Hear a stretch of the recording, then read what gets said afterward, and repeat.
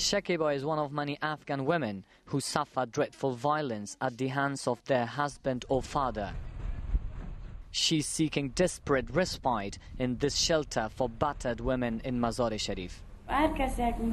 People who have a family problem come here to seek help. But recently, Afghan women have been given a high profile platform to speak out from behind the mask. My problem is my father used to beat my mom and then he kicked her out of the house. The Mask or Niqab is a television program which has been running for nearly a year. Women's stories of being beaten up, escaping from home, forced marriages, and dozens of other violations are heard in the studio. He used to hit her and pull out chunks of her hair. I would fall at his feet and beg him to stop, but then he would just beat me. When a woman is prepared to talk about violence and abuse at home in a society like Afghanistan, this is really breaking a taboo.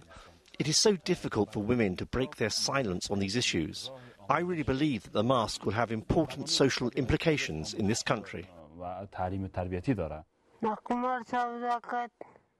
Zarmina was sold by her father after he lost a lot of money gambling. My father would beat me, tear at my hair, and throw me out to the streets to find money for him. There was a woman who posed as my mother and hired me out as a prostitute. This isn't only a TV program, but it gives advice to the women too. And further, it shocks men, fathers, husbands, and brothers. So, what will be the impact of this program in Afghanistan's male dominated society? TV shows like this have an effect on families, particularly young children and youth. Seeing programs about violence and abuse can have a positive impact on family, especially because Afghanistan suffers from so much violence.